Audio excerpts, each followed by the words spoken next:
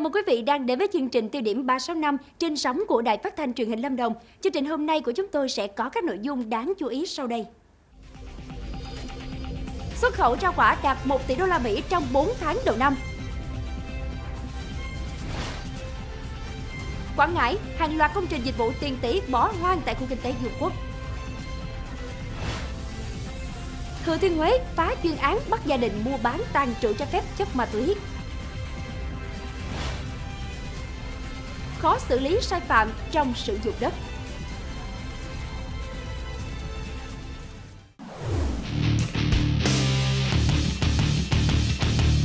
Mở đầu chương trình ngày hôm nay sẽ là thông tin vui trong lĩnh vực nông nghiệp. Thưa quý vị, với việc hàng loạt các loại trái cây Việt Nam đạt chuẩn xuất khẩu đi các nước trong thời gian qua, thì chỉ trong 4 tháng đầu năm nay, giá trị xuất khẩu của nhóm hàng rau quả đã tăng hơn 30% so với cùng kỳ của năm ngoái và cán mốc 1 tỷ đô la Mỹ. Lô hàng này đang hoàn tất công đoạn cuối cùng là chiếu xạ tại Trung tâm Chiếu xạ Hà Nội. Sau khi được cơ quan chức năng của Australia chấp nhận quy trình, Dự kiến trong tháng 5 này, xoài Sơn La sẽ chính thức xuất khẩu thí điểm sang nước này bằng đường hàng không. Diện tích trồng xoài cũng rất là lớn, trên 4.000 hecta cũng rất là lớn và đặc biệt là người ta trồng xuất khẩu xoài tượng da xanh. Trong tháng 4 vừa qua, bình quân mỗi ngày mặt hàng rau quả mang về khoản ngoại tệ gần 8,2 triệu đô la Mỹ. Hiện mặt hàng rau quả của nước ta đã có mặt ở nhiều quốc gia nổi tiếng, đòi hỏi cao về chất lượng như Mỹ, Nhật, Hàn Quốc, Đức, Hà Lan. Kết quả này là đến là chủ yếu là từ cái việc là chúng ta đã tuân thủ nhiều hơn các cái tiêu chuẩn vệ sinh an toàn thực phẩm và các cái ở trong cái khâu nuôi trồng chế biến các cái sản phẩm nông nghiệp như này thì và chúng ta áp dụng những cái công nghệ mà tương ứng. Sự bắt tay của nông dân, doanh nghiệp và cơ quan quản lý đang mang đến hy vọng mới cho sản phẩm trái cây của Việt Nam phương rộng ra thị trường thế giới. Thưa quý vị, thời gian qua, các nhà mạng đã triển khai nhiều giải pháp nhằm ngăn chặn tình trạng tin nhắn rác, trong đó gần 20 triệu SIM kích hoạt sẵn đã bị thu hồi. Tuy nhiên, tình trạng này vẫn diễn ra phổ biến và có chiều hướng phức tạp. Đây là thông tin được đưa ra tại lễ ký cam kết phối hợp tăng cường ngăn chặn tin nhắn rác giữa 5 doanh nghiệp viễn thông di động diễn ra vào chiều ngày 11 tháng 5 tại Hà Nội. Cam kết phối hợp tăng cường ngăn chặn tin nhắn rác giữa năm nhà mạng Viettel, Vinaphone, Mobifone, Vietnam Mobile và Gtel với Bộ Thông tin và Truyền thông sẽ được thực hiện từ ngày 1 tháng 7 năm 2017. Theo đại diện các nhà mạng, một trong những nguyên nhân khiến cho tin nhắn rác vẫn tồn tại khá phổ biến và có chiều hướng tinh vi phức tạp là do chưa có sự thống nhất về tiêu chí nhận diện tin nhắn rác, biện pháp lọc chưa đồng đều, cơ chế ngăn chặn liên mạng.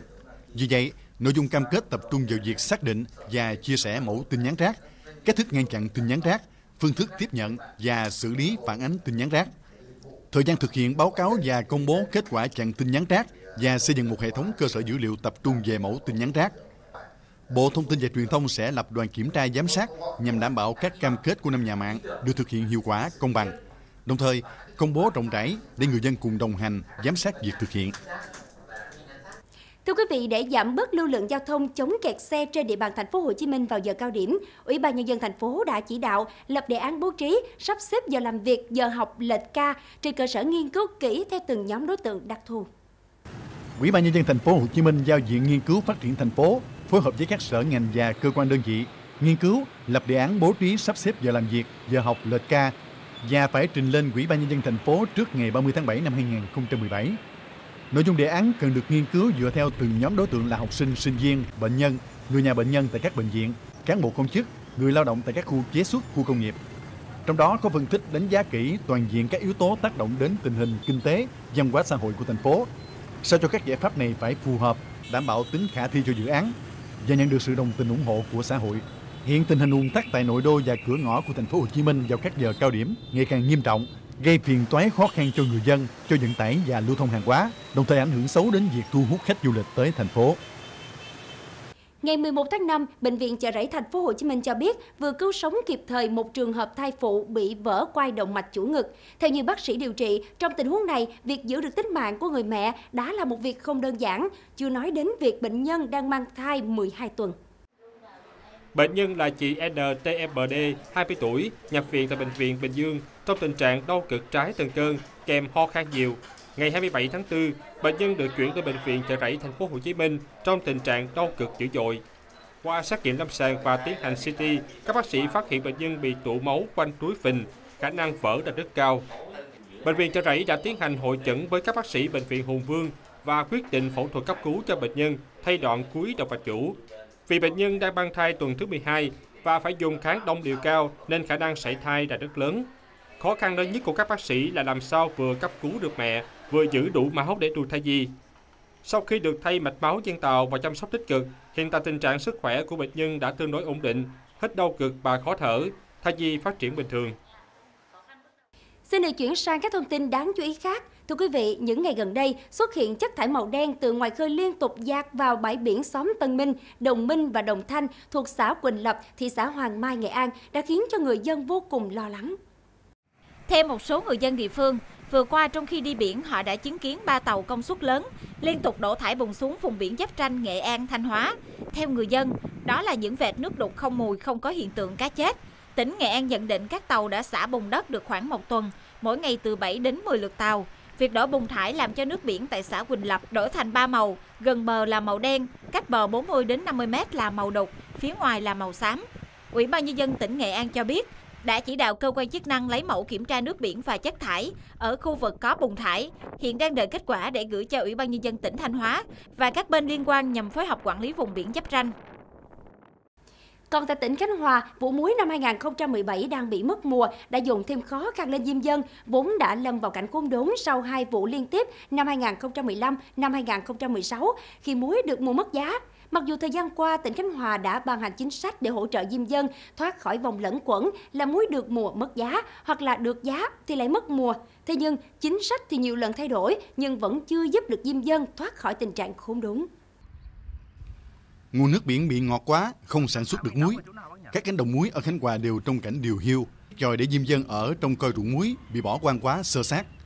Trên các cánh đồng muối vắng bóng người, thay vì không khí sản xuất nhộn nhịp, cảnh người cào, người gánh muối như ở những vụ trước. Không sản xuất được muối, nhiều ngư dân đã phải mua ngư lưới cụ để chuyển sang đánh bắt cá hoặc mưu sinh bằng nghề mò cua bắt ốc trên con sông nằm ngay bên cạnh ruộng muối của chính mình. Muối thì không cá, mất vé nữa thì ờ, dân ở đây thì nói chung là thất nghiệp nhiều. Như ờ, tôi thì ờ, chỉ như người đánh bắt ké ở đầm mình đó. Rồi khi nào có muối thì tôi làm muối. Muối ở Khánh Hòa năm nay mất mùa, bên cạnh nguyên nhân nguồn nước biển bị ngọt quá do mưa trái mùa, còn cho việc đầu tư nâng cấp đồng muối còn chậm được triển khai. Quy hoạch sản xuất muối cũng chưa bài bản. Trong khi đó, diêm dân vẫn duy trì lối sản xuất manh mún nhỏ lẻ, nên mùa vụ phụ thuộc hoàn toàn vào thời tiết. Hiện chỉ có một số ít xí nghiệp, công ty ở Khánh Hòa mới sản xuất được muối do có hạ tầng tốt và ứng dụng cơ giới hóa vào làm muối. Nếu đồng muối được quan tâm đầu tư nâng cấp, ứng dụng kỹ thuật cao, đưa cơ giới hóa vào sản xuất muối sẽ giúp diêm dân thoát khỏi dòng lẫn quẩn, được mùa mất giá hoặc được giá mất mùa. Tại khu kinh tế Dung Quốc, tỉnh Quảng Ngãi, hàng loạt công trình chuyên về dịch vụ nhà ở tiền tỷ đang được xây dựng dở dang nhưng bị bỏ hoang trong suốt nhiều năm qua. Điều này không chỉ gây lãng phí mà còn ảnh hưởng đến việc thu hút đầu tư của khu kinh tế quan trọng này. Theo khảo sát, các công trình đang bị bỏ hoang thậm chí xuống cấp hư hỏng như khu dịch vụ nhà ở cho cán bộ, công nhân viên, công ty công nghiệp tàu thủy Dung Quốc có diện tích 18,6 ha, trung tâm khách sạn, nhà hàng, khu vui chơi giải trí ở khu đô thị Vạn Tường. Rất là lãng phí đất. Thì đối với quan điểm của chính quyền địa phương, á, nhân dân đã mất đất sản xuất, tuy nhiên phải giao cho một cái đơn vị để mà khai thác sử dụng cái diện tích đất này, nhưng mà là không sử dụng thì cái diện tích đất này lãng phí. Tại khu kinh tế Dung Quốc, hiện có 6 công trình dự án với tổng vốn hàng trăm tỷ đồng bỏ hoang từ nhiều năm qua. Chủ đầu tư của các công trình nhà đất bỏ hoang trên nguyên là của công ty công nghiệp tàu thủy Dung Quốc thuộc tập đoàn Vinasin, một số là của các doanh nghiệp đến đầu tư ở khu kinh tế Dung Quốc. Tổng diện tích đất bị bỏ hoang trên 270 hecta từ năm 2008 đến nay. Thì Dung Quốc cũng ờ, làm việc với nhà đầu tư cũ để mà bàn đến các cái biện pháp tìm ra các cái giải pháp để làm như thế nào đó không để các cái dự án dở dang này tiếp tục ờ, kéo dài nữa. Công trình dự án tiền tỷ bỏ hoang không chỉ gây lãng phí mà còn ảnh hưởng đến quy hoạch chung, kiềm hãm sự phát triển của cả khu kinh tế Dung Quốc. Đây cũng là bài học kinh nghiệm trong việc thu hút đầu tư, cấp đất cho các dự án trên cả nước. Vào mùa nắng ráo, lúc sóng yên biển lặng, người dân đảo Lý Sơn ở tỉnh Quảng Ngãi lại mang theo đồ nghề để lặn tìm các loại hải sản ven biển như con nhum, ốc xà cừ, rau câu, rau bồng bồng và rau mơ. Chỉ với 3 giờ ngụp lặn dưới mặt nước, mỗi người dân có thể kiếm hơn cả triệu đồng. Và người dân gọi các sản vật ven bờ này với cái tên là lộc biển. Khoảng 3 giờ chiều đến 6 giờ tối hàng ngày, chị Nguyễn Thị Luận ra bờ biển gần nhà, mang theo dụng cụ là kính che mắt để lặn, móc sắt, bao tay, bao tải đựng sản phẩm để lặn bắt sản vật biển. cái Rượu cáo à, mình à, thì ra mình chắc ở trên cái ngọn mai cái mình à, lá lái tàu mình hết hết là một bữa à, cái hồi à, à, nam bắc ký ốc thì mình ra mình dòm xuống dưới hòn hai nó từng hồ mình lái tàu mình lái hay là lái cái cây mình kéo cái này kiếm được qua bốn trăm vào buổi chiều mỗi ngày, nhiều người dân Lý Sơn hái lọc biển như chị Luận kiếm được cả triệu đồng từ rau câu và ốc cừ. Đó là chưa kể đến các loại hải sản khác như nhum biển, cá và nhiều loại trong biển tự nhiên. Không chỉ người lớn mà học sinh cũng tranh thủ thời gian không đến lớp để khai thác sản vật biển phong phú. Thưa quý vị, để sản xuất nông nghiệp có đầu ra ổn định thì cần phải thành lập những cánh đồng lớn sản xuất tập trung. Tuy nhiên, không ít nông dân vẫn còn lo ngại về vấn đề dồn điền, đổi thửa dẫn đến mô hình cánh đồng lớn khó triển khai. Nhằm tạo ra nếp nghĩ cách làm mới trong sản xuất nông nghiệp, tỉnh Ninh Thuận đã chọn xã Phước Hậu, huyện Ninh Phước là địa phương có đông đồng bào chăm để thực hiện mô hình thí điểm cánh đồng lớn và đã được người dân đồng thuận cao. Mô hình trồng lúa giống trên địa bàn xã Phước Hậu, huyện Ninh Phước được chọn thực hiện thí điểm mô hình cánh đồng lớn đầu tiên của huyện Ninh Phước và của tỉnh. Ủy ban nhân dân xã Phước Hậu chọn khu vực dùng sân cổng 3 và sân cổng 4 của hợp tác xã dịch vụ nông nghiệp Phước Hậu, thôn Hiếu Lễ có diện tích 56 hecta với 103 hộ dân tham gia. Qua quá trình vận động của hợp tác xã và chính quyền địa phương, 100% hộ dân trong vùng dự kiến sản xuất thí điểm cánh đồng lớn đã tích cực hưởng ứng. Cho nên là bà con chúng tôi là nhiều lần nhất trí. Cho nên việc này á thì ờ, bà con chúng tôi là vừa sắp tới này chúng tôi tiến hành trong cái vụ hè thu. Đấy, thu sắp tới. À, Bà con nhân dân hưởng ứng theo phong trào. Toàn bộ là nhân dân đã đã đã hợp rất là nhiều lần rồi đấy. Cho nên là, bà con cũng cũng phấn khởi thôi. Hiện nay nông dân xã Phước Hậu đang thu hoạch vụ đông xuân và tích cực chuẩn bị để mô hình bắt đầu triển khai vào vụ hè thu năm 2017. Công ty cổ phần giống cây trồng Nha Hố là doanh nghiệp phối hợp cung mướn giống, kỹ thuật, bao tiêu sản phẩm cho nông dân. Hợp tác xã dịch vụ nông nghiệp Phước Hậu cung mướn vốn, phân thuốc hỗ trợ nông dân sản xuất. Với sự quan tâm chỉ đạo của tỉnh, sự quyết tâm và đồng lòng của chính quyền các cấp và nông dân, mô hình cánh đồng lớn của đồng bào chăm sẽ mang lại hiệu quả kinh tế cao, góp phần thúc đẩy kinh tế gia đình và địa phương phát triển.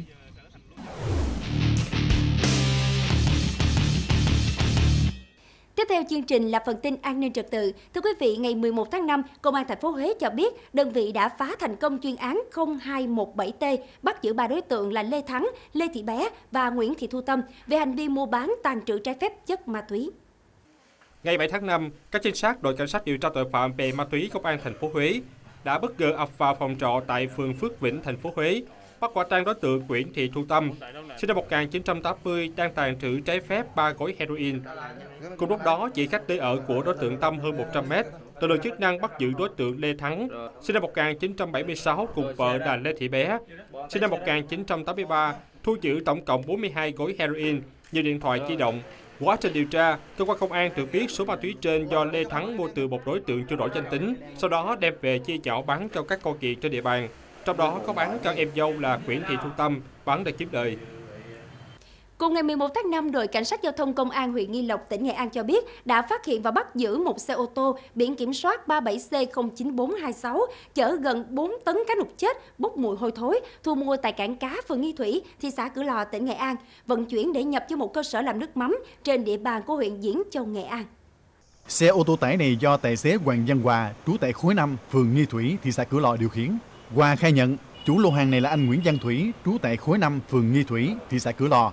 Anh Thủy khai đã mua gần 4 tấn cá nục chết này tại cảng cá phường Nghi Thủy và thuê anh Hòa vận chuyển đi xã Diễn Ngọc, huyện Diễn Châu, Nghệ An, nhập cho một cơ sở ở đây làm nước mắm. Hiện nay số cá chết bốc mùi này đang được công an huyện Nghi Lộc thu giữ, xử lý theo quy định của pháp luật. Tòa án Nhân dân tỉnh Con Tum vừa mở phiên tòa lưu động xét xử bị cáo Lê Đình Hạnh, sinh năm 1968, trú tại thành phố Con Tum về tội danh giết người. Theo cáo trạng của Viện Kiểm sát, chiều tối ngày 15 tháng 10 năm 2016, sau khi uống rượu tại nhà xong, Lê Đình Hạnh cùng Lê Đình Tình, Lê Đình Hòa, Lê Văn Nghĩa và Lê Văn Hải đi đến quán nhà ông Trần Văn Sáng, cách nhà Hạnh 100 m để hát karaoke. Nhưng khi đến nơi, ông Sáng không cho hát mà còn văn tục chửi bới nên giữa Hạnh và ông Sáng đã lời qua tiếng lại. Bực tức, ông Sáng đi vào nhà lấy một cây kéo đâm trúng cổ tay của Lê Đình Hòa. Khi đang ca can ông Sáng xông vào đánh Hạnh. Tiếp đó, ông Sáng cầm kéo đâm vào hốc mắt trái phía đầu lông mày của Hạnh. Liền sau đó, Hạnh giật được cây kéo từ tay ông Sáng và đâm một cái trúng mắt và đá vào đầu ông Sáng. Hậu quả, Lê Đình Hòa thương tật 8%, Lê Đình Hạnh thương tật 28%, Còn Trần Văn Sáng tử vong do chấn thương sọ não. Kết thúc phiên tòa, Tòa án nhân tỉnh Không Tôm tuyên phạt Lê Đình Hạnh 5 năm tù giam về tội danh giết người.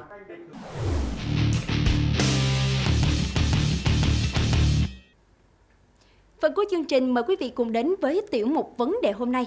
Thưa quý vị, tình trạng vi phạm trật tự xây dựng, sử dụng đất sai mục đích đang diễn ra phổ biến ở nhiều nơi. Công viên, vườn hoa, nhà văn hóa được xây dựng với mục đích phục vụ cộng đồng. Thế nhưng những gì mà quý vị sắp xem sau đây sẽ cho thấy chúng còn được dùng cho cả mục đích khác như nhà hàng hay quán rượu. Điều này khiến cho dư luận vô cùng bức xúc. Điều đáng nói là tình trạng này lại diễn ra phổ biến ở nhiều nơi nhưng không được giải quyết triệt để. Vậy nguyên nhân là do đâu? Mời quý vị cùng theo dõi phóng sự mà chúng tôi đã thực hiện ngay sau đây. Hàng loạt hàng quán mọc lên trên đất công viên. Nhiều khu đất vàng bị sử dụng sai mục đích, sai quy hoạch. Khi đất đai được tận dụng để kinh doanh sai mục đích, thì không gian cộng đồng bị thu hẹp. Điều này gây không ít bức xúc cho người dân. Như vậy chia 5 xẻ 7 bây giờ gần như chỉ còn mấy cái đường đi, Đấy, đường xung quanh công viên thì là không phải là của một công ty nào thôi. Chứ còn tất cả các cái bây giờ là một bên là sân bóng đá, một chỗ sân thì bây giờ đang để củi, một bên thì siêu thị, một chỗ thì là coi như để xe ô tô. Đó, thì hiện nay đã chả có chỗ nào cho dân chơi. Theo quy định của luật đất đai, các trường hợp sử dụng đất phải đúng mục đích, đúng quy hoạch, tuân thủ quy định của pháp luật liên quan. Những trường hợp sử dụng sai mục đích có nhiều hình thức xử phạt rất rõ ràng. Các quy định pháp luật liên quan về xử phạt vi phạm hành chính trong lĩnh vực ờ, quản lý sử dụng đất đai đã quy định rất rõ, cộng kể cả các quy định trong bộ luật hình sự cũng đã có quy định đấy. Vì vậy mà các hành vi vi phạm này tùy theo tính chất và mức độ vi phạm có thể bị xử phạt tiền, buộc uh, chấm dứt hành vi vi phạm và uh, có thể thu hồi đất trong trường hợp mà mức độ vi phạm nghiêm trọng và nghiêm trọng hơn thì còn có thể xử lý hình sự. Có thể thấy các quy định của pháp luật về quản lý đất đai đã tương đối đầy đủ. Tuy nhiên trên thực tế, ngay giữa thủ đô vẫn có nhiều vi phạm diễn ra trong thời gian dài vài năm, thậm chí cả chục năm nhưng không được xử lý dứt điểm. Chế tài chưa đủ mạnh, thiếu sự kiên quyết của cơ quan chức năng trong giải quyết rốt ráo vấn đề. Chính vì những lý do này mà tình trạng sử dụng đất sai mục đích vẫn diễn ra ở nhiều nơi, thách thức dư luận và gây bức xúc trong nhân dân. Thông tin vừa rồi cũng đã kết thúc chương trình hôm nay. Cảm ơn quý khán giả đã quan tâm theo dõi. Chương trình Tiêu điểm 365 được phát sóng trên đài phát thanh truyền hình Lâm Đồng. Còn bây giờ xin kính chào và hẹn gặp lại trong chương trình ngày mai.